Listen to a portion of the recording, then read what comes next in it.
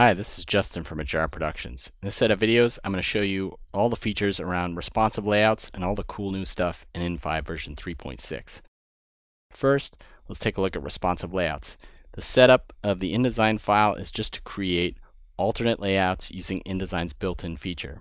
Now, in the output, all I have to do is change the size of the browser and the layout changes.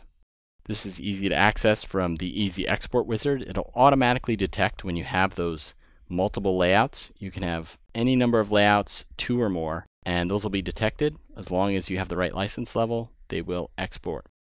Now you can find this in the full export dialog under the export range. When you have a document with matching layouts that have different page sizes, you'll get this responsive layouts option. Now, you can also combine this responsiveness with the proportional scaling of desktop scaling. So now you can see that each layout fits completely to the size of the window, no matter which one it is.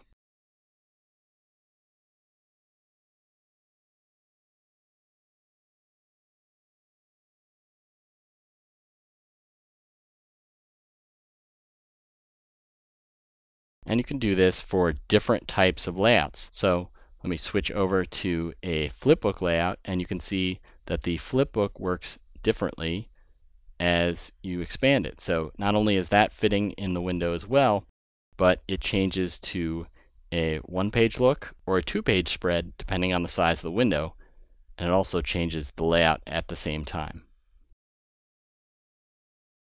In addition to being able to use any page format and make it responsive, and to be able to proportionally scale, you can also use the liquid layout rules in InDesign to do all types of scaling.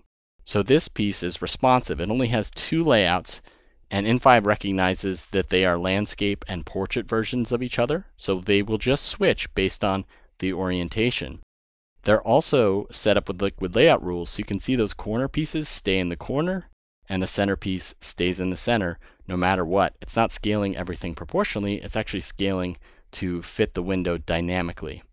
So you can make a truly responsive experience with absolutely no coding in In5 version 3.6.